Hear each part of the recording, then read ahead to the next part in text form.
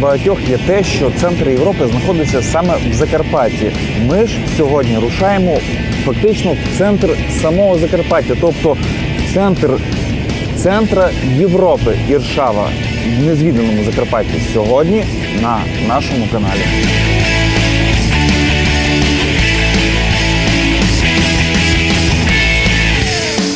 Якщо ви подорожуєте Закарпаттям вперше і серед усіх принад краю обрали Іршаву, сама дорога до неї подарує чимало точок інтересу, які зроблять вашу подорож цікавою, яскравою і незабутньою.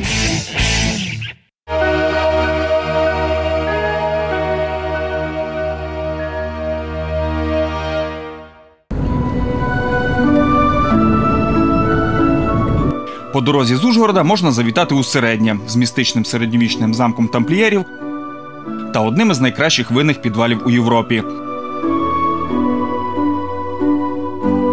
Мальовниче Ракошино подарує прогулянку селом, запросить в один з найяскравіших монастирів Закарпаття сиром і бринзою власного виробництва, екзотичними птахами, яких вирощують монахи.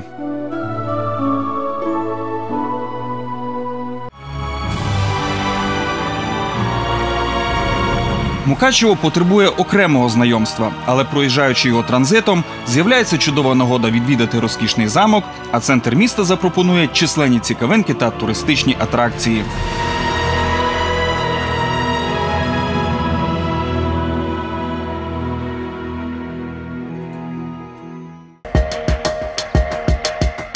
Вже за Мукачевом любителям техногенного туризму предстане Пістрялово.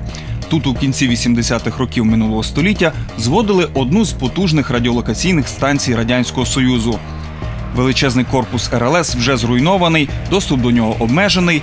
Але тим, хто цікавиться історією науки, місцеві зможуть розповісти легенди про жахіття, які могло принести потужне випромінювання від роботи РЛС. Її так і не запустили у експлуатацію. Та історії про водойми, які мали охолоджувати системи РЛС, пригадують понині. У кінці 80-х люди налякані і Чорнобильською катастрофою, і залякані масою легенд про те, що робить атом з різного роду живими істотами. Ця водойма почала обростати легендами про те, що в ній водиться щось таке на кшталт, як закарпатське лохнеське чудовисько. Але сам час показав про те, що це все на всього міф, не більше.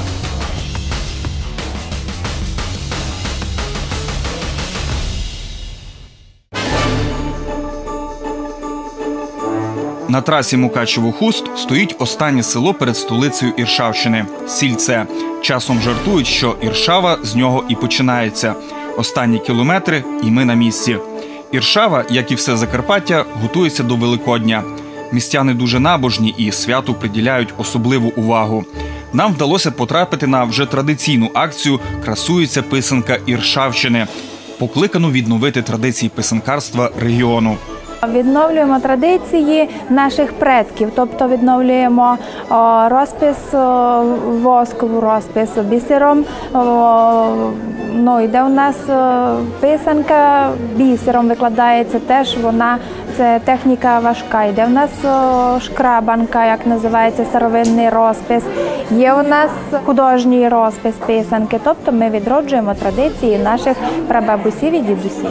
У кожного села є свої розписи, є свої кольори, є свої візеруночки, і вони ми їх поєднуємо і робимо за це. В нас в Закарпатті є свій, ну як і як і у вишивці, так і у писанкарстві, у розписі. У всьому в нас є своя ноточка інша.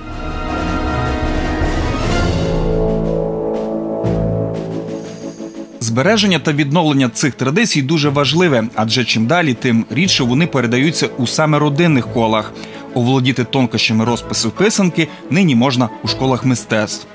Мене навчили вчителі наші, які нас вчать, і дають нам різні е, малюнки, і ми з них змальовуємо або вже самі якось там додаємо. Я використовую різні технології, наприклад, геометричні малюнки розписую. З геометричними орнаментами ми познайомимося краще дещо пізніше, і не лише у писанкарстві, а в багатьох інших речах. Дізнаємося секрети саме іршавських орнаментів і як їх розпізнати серед інших.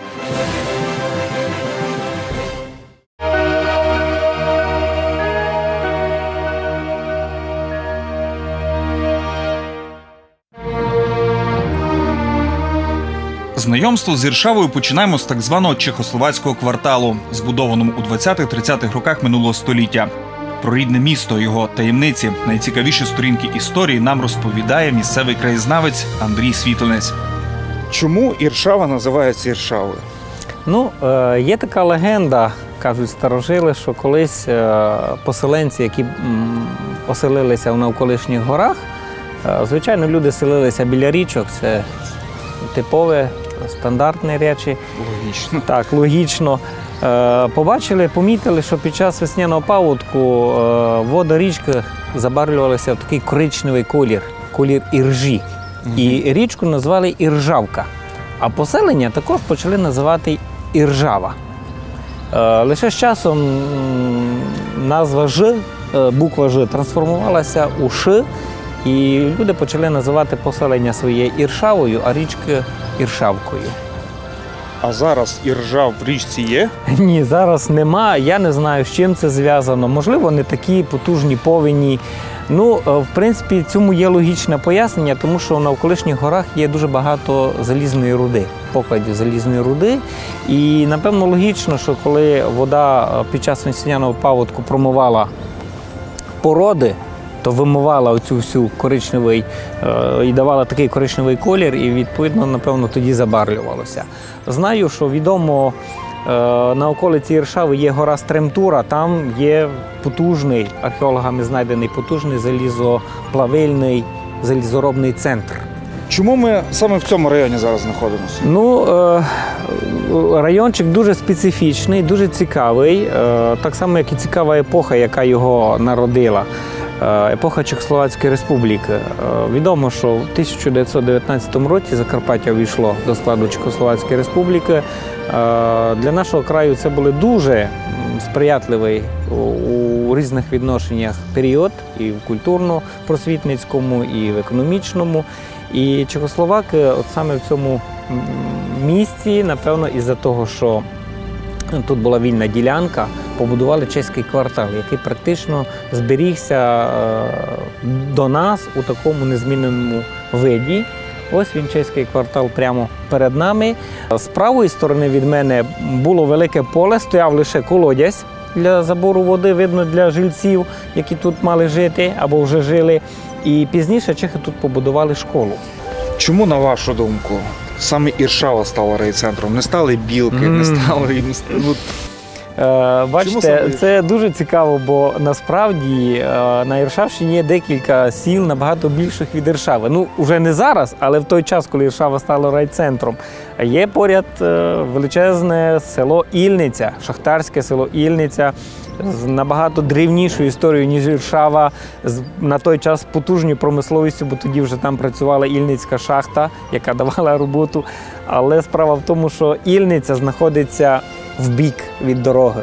Тобто, якщо ми їдемо з сторони сільця, от мандруємо дорогою Мукачево-Хуст, от ми з сільця мусимо заїхати в Іршаву. То вона, ну скажімо, таке е, велике село було ближче, воно ближче до дороги. Якщо до Ільниці, це ще від сільця до Іршави 5 кілометрів. Добавляйте ще 5-6 кілометрів. Тобто Фактично визначила логістика. Так.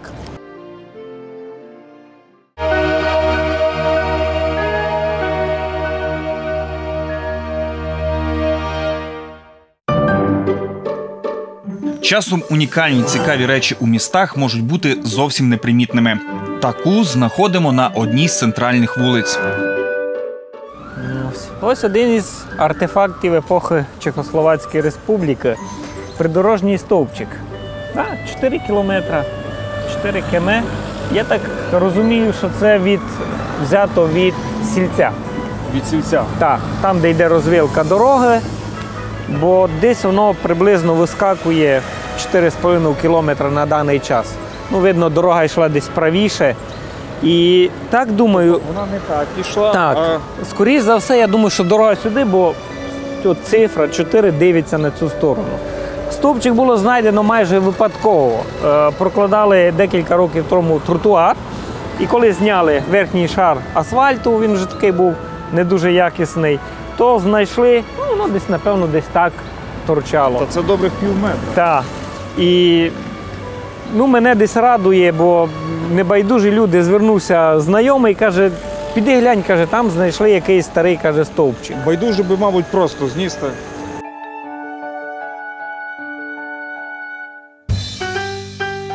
Ще один історичний артефакт розміщений зовсім поруч, хоч виглядає він і досить молодо, та теж береже у собі таємниці саме на іршавський манер. Яскравий артефакт того часу, про який я вам казав, Остро-Угорщина. Один із небагатьох будинків, який дійшов до нас із тої давньої епохи кінця 19 століття. На старих листівках поштових е, підписаний як будинок сільського, Сільського управління. Бірова. Так, Біров, Біров, айно. Так, так, так, так і написано. Ну, ось, е, це було десь в цій частинці був колодязь. Доріжка вела приблизно так, як ми зараз з вами стоїмо з цієї сторони, тобто гарно е, дерева росли. Потім є вже свідчення старих е, старожилів, що власниками цього будинку були євреї. Тобто, наскільки це правда сказати важко, навіть е, кажуть, є така Хіба орнамент. Ну, орнаменти, Натякає. так, орнаментика натякає на ці речі. Ну і кажуть, що була така цікава річ, як бордель. В одному крилі жили браття євреї, а в другому був будиночок, де продавалося кохання за гроші. Наскільки це правда, не знаю, але так кажуть. У 80-х роках була зорганізована станція юних туристів. До речі, перша на території України районний, районна станція юних туристів Саме в Віршаві, саме в. Віршаві, і саме в цьому будинку. Вибір пав на Іршаву аж ніяк не випадково, адже звідси зовсім близько до найвищих вершин вулканічного хребта українських Карпат. Бужора, Божарські полонини, гора Кук, урочище Смириковий камінь. Іршавщина один з найзручніших регіонів для пішого туризму.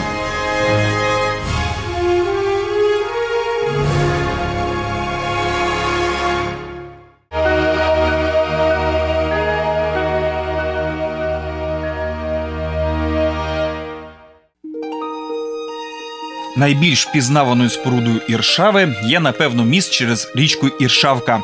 Своєю історією він заслужив те, що бути зображеним на більшості міських листівок. Міст без перебільшення візитівка Іршави. Однозначно. Тут шапку, як кажуть, Кала Бдулі. Е, Сама, сам міст було збудовано за епохи Чехословацької республіки. На превеликий жаль, не знайдено е, конкретної дати. Ну, це буде десь проміжок 23-25 роки. Е, Надзвичайно вдале інженерне рішення, тому що річка Іршавка є бурхлива. І будь-які опори це в першу чергу потерпають під час паводків, чи то кригою, чи то е, під час води. Е, інженер тут знайшов інше рішення, оскільки береги річки не є дуже таки е, не дуже широка, міст зробили без опор. І він фактично тримається за допомогою дугоподібних арок. Повінь 1947 року на Закарпатті, повінь 1999 року абсолютно не завдали цьому мосту ніякої шкоди. Міст могла зруйнувати не стихія, а саме людина. Наприкінці Другої світової війни, коли угорська армія відступала з Іршави, був відданий наказ підірвати міст. Люди забили на сполох, коли тротил вже був закладений в єдине сполучення через Іршавку. Щоб врятувати міст, на переговори з угорським офіцером селяни делегували священника. Переконати військового вдалося за допомогою нехудого порося та корчаги паленки. Отримавши такий подарунок, офіцер підірвав міст у сусідньому сільці. Так і військовий наказ виконали і зберегли іршавську візитівку.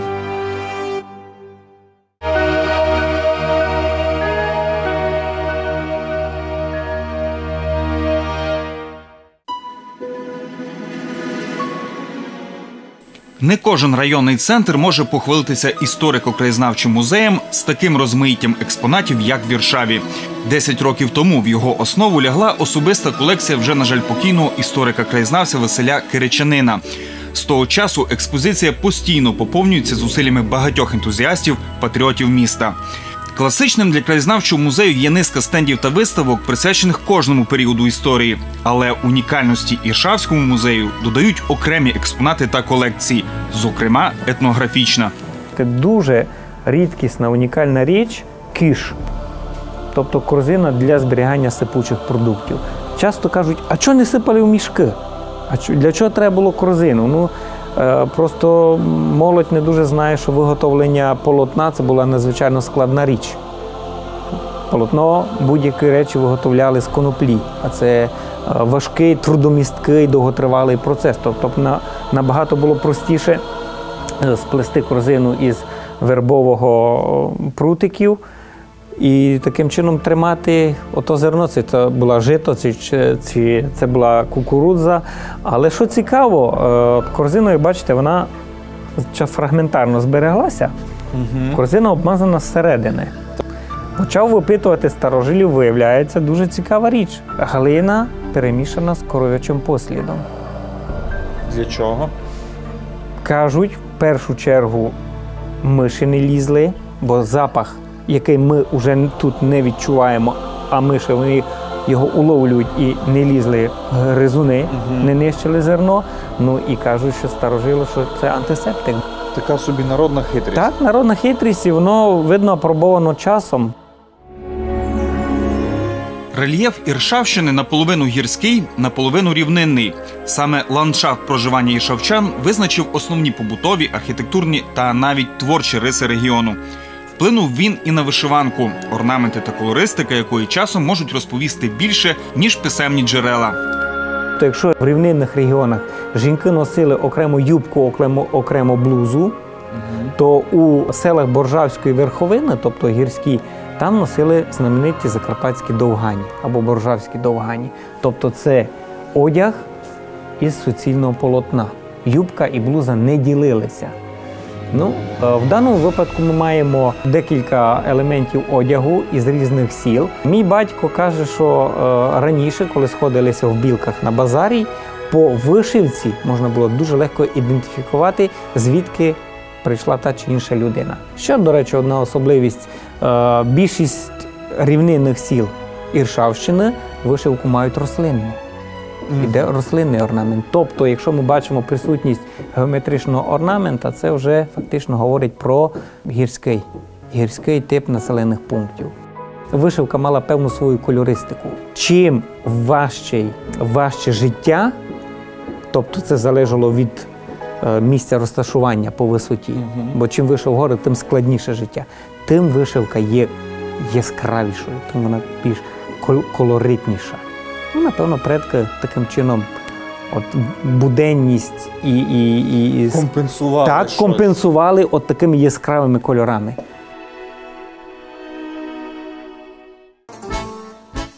Святковий стіл закарпатці називають гостиною. Є в музеї унікальні артефакти, які розповідають про те, як гостилися іршавчани у 19 столітті. Різниця з совєтською епохою вражаюча. Надзвичайно маловідомий і недосліджений поки що факт. Півна пляшка іршави. Ми всі звикли чути, бачити вже більш відома знаменитий завод у Підгорянах, півний завод графа Шембурна. Маємо пляшечку як, скажімо, еталон того часу. Ну і мало хто знає, що в Іршаві теж були свої півні пляшки, причому, що цікаво, двох видів, тобто два виробники. Зараз би це назвали крафтовим пивом. Ну, напевно. Ну, і відповідно вже сформувалася така невеличка експозиція скляних пляшок. От сама давня пляшечка 1863 року. Інший немаловажний, маловідомий факт знову ж таки певна пляшечка, але не півлітрова, 0,45. Є ще така річ, теж про неї мало хто знає. Раніше не було такого поняття пити 50 грам не було поняття пити 100 грам. Воно до нас прийшло з совєтами. Раніше еталон 0,04 літра, тобто 40 грам.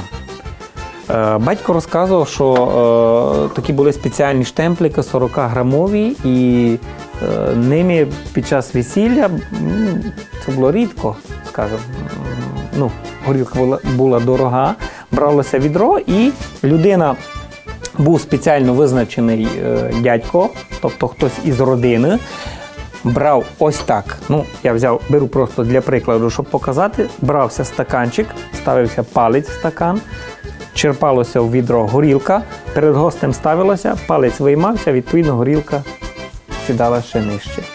Тобто, отак один раз обійшли стіл і на тому все. Оце вся була п'янка на весіллі. Жалітися на важке життя не в стилі іршавчан. В усі часи вони шукали найменшої можливості знайти роботу і достойно забезпечити свої родини. Нині, напевно, немає сім'ї, звідки б хтось не рушив на чужину на заробітки. Колекція валют світу розповідає про географію країн, де побували іршавчани.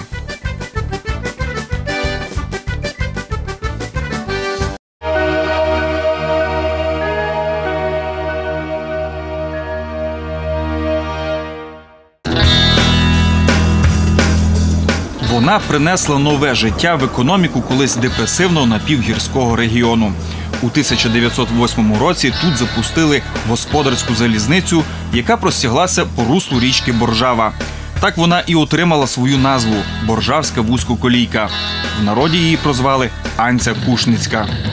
Сполучила вона е, весь Боржавський регіон, Виноградово, Берегово, Іршаву і доходила аж до гірського села Кушниця. Є таке народна назва Анця так, Кушниця. Анця Якщо до Кушниці доходило, то зрозуміло, чому Кушницька. А, а чому саме Анця? Ну, найбільш поширене жіноче ім'я е, взагалі в світі це Ганна. Анна, Анця. Ну, на Закарпатті, зокрема, у е, в Боржавському регіоні, у, у гірській Боржавщині.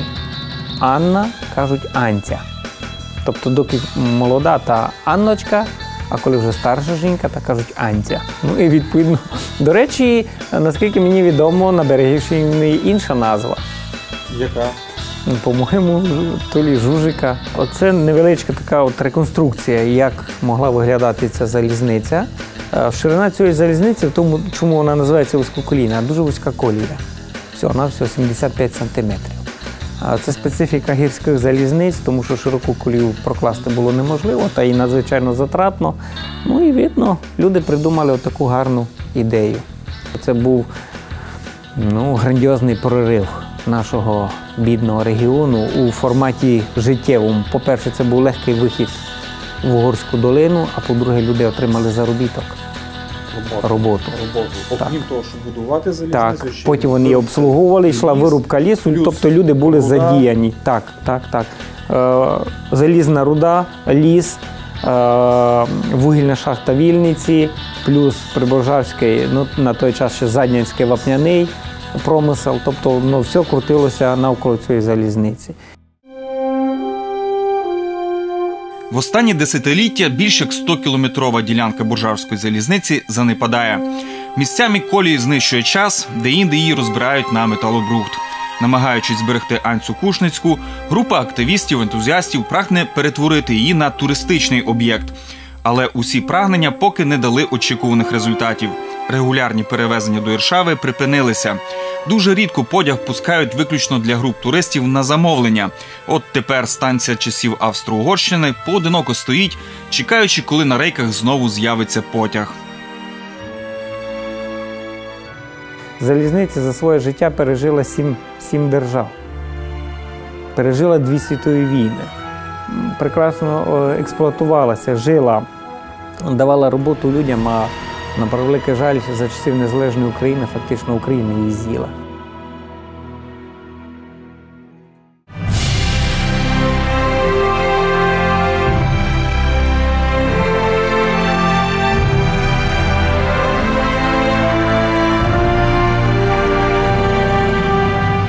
Атмосферу у Віршаві формують містяни, невимушені, комунікабельні, щирі.